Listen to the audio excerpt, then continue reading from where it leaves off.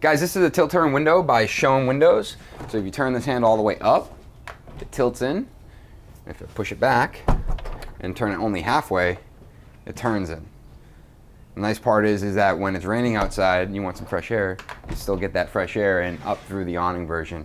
Another nice detail in this home is that Julie has designed it so these windows are all the way in the ceiling. So that ceiling is actually going to dive right back into our frame up the top there.